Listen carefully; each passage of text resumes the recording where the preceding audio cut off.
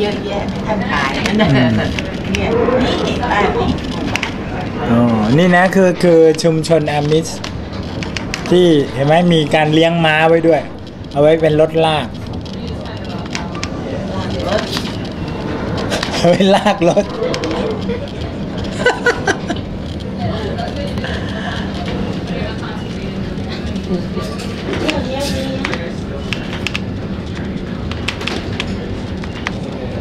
โอ้โหผลผลิตเขาก็คือพวกข้าวโพดสูงขึ้นเรื่อยๆ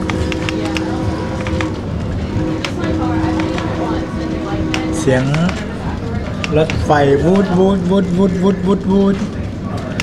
อันนี้ก็มีร่องรอยของรถลาก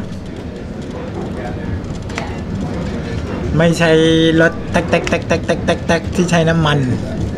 ใช้ม้าเป็นพาหนะลากรถ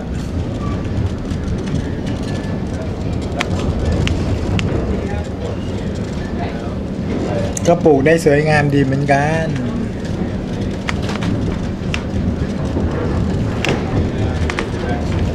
การเกษตรสมัยโบราณนะ นี่มีการเลี้ยงวัวเอานมไว้ แต่ยังหาตัวคนไม่ก็ได้เลยนะ เห็นเด็กขี่จักรยานมาคนหนึ่ง นี่เป็นลูกหลานอามิสหรือเปล่าเนี่ยไม่ใช่แต่งตัวอย่างนั้น ใช่นะดำๆเออว่าหนึ่งคนแล้วเออกมาให้เห็นละ